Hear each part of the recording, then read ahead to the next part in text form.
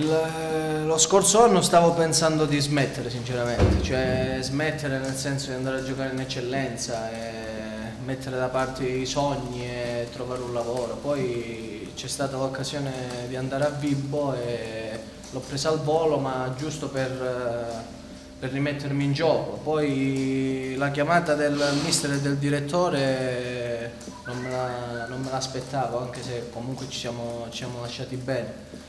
Eh, il mister sicuramente mi ha dato tanto sia quest'anno anche quando l'ho conosciuto a Catanzaro.